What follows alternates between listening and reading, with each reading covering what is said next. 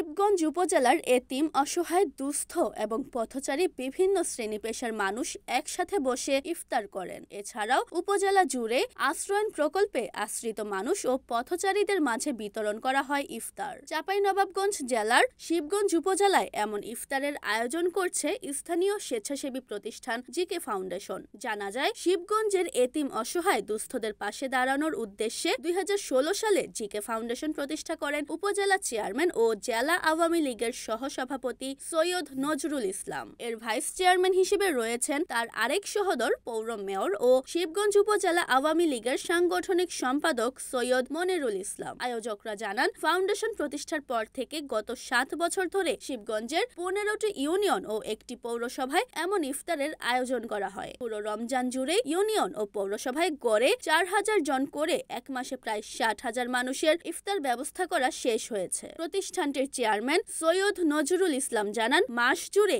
এমন বৃহৎ ইফতার আয়োজনে অনেকেই স্বেচ্ছাশ্রম দেন। বিশেষ করে স্থানীয় আওয়ামী লীগ, যুবলীগ ও ছাত্রলীগের সাথে সংশ্লিষ্টরাই স্বেচ্ছাশ্রম বেশি দেন। ইফতারের রান্না শেষে প্রতিদিন উপজেলার নির্ধারিত ইউনিয়নে সেগুলো নিয়ে যাওয়া হয়। সবার সম্মিলিত প্রচেষ্টায় প্রতিদিন গড়ে চার হাজার মানুষের জন্য ইফতার ব্যবস্থা করছে জিকে ফাউন্ডেশন। সৈয়দ মনিরুল ইসলাম জানান, ইফতারে বিরিয়ানি, জিলাপি, বেগুনি, খেজুর সহ বিভিন্ন ধরনের খাবার মানসম্মত ভাবে পরিবেশন করা হয়। গতকাল শনিবার শিবগঞ্জ উপজেলার শেষ ইউনিয়ন হিসেবে ছাত্রাজিতপুরে প্রায় চার হাজার এতিম, অসচ্ছল ও অসহায়দের সম্মানে ইফতার ও দোয়া মাহফিল অনুষ্ঠিত হয়েছে। এতে অংশ নিয়েছেন স্থানীয় বিভিন্ন এতিমখানার শিশুরা রিক্সা চালক, ভ্যান চালক, দুস্থ নারী পুরুষ সহ বিভিন্ন শ্রেণি পেশার মানুষ।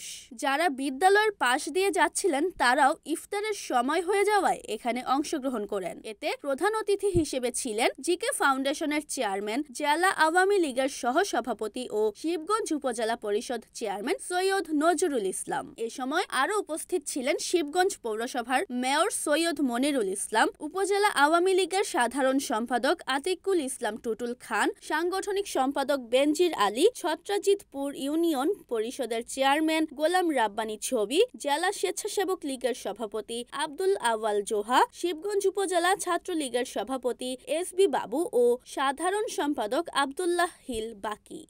পৌর ছাত্রলীগের সভাপতি আলী রাজ ও সাধারণ সম্পাদক রকি ইসলাম ডলার সহ যুবলীগ, ছাত্রলীগ ও অঙ্গ সংগঠনের নেতৃবৃন্দরা। ইফতারে আসা ভ্যান চালক আতিক ইসলাম বলেন, প্রতি বছরই স্থানীয় অসহায়, এতিম ও দুস্থদের জন্য এমন আয়োজন করা হয়। এখানে অনেক ভালো মানের খাবার দেয়া হয়। ফলে আগতরা তৃপ্তি সহকারে ইফতার করেন বলেও জানান তিনি। দিনমজুর ইমন আলী বলেন, শুধু ইফতারই নয়, বরং করোনা কালেও আমাদের সাহায্য করেছিল জিকে ফাউন্ডেশন। এমনকি প্রতি ঈদেও জামা কাপড় সহ ঈদ সামগ্রী দিয়ে দুস্থদের পাশে থাকেন তারা। Mohammad Sifat Rana Chapainawabganj NN TV.